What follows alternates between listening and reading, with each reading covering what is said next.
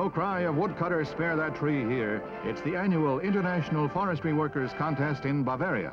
Axes and saws in the hands of 92 of the best tree men from throughout Europe. Did I hear someone shout, timber? Two German foresters capture the team sawing event, making the sawdust fly. It's wonderful exercise, leaves you regenerated, refreshed, really relaxed.